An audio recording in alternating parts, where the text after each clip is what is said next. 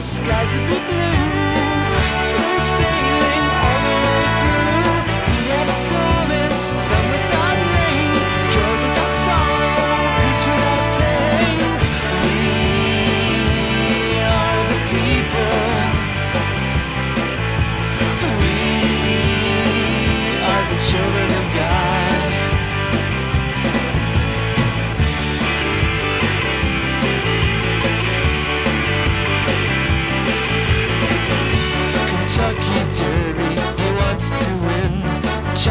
small. He's eight feet tall.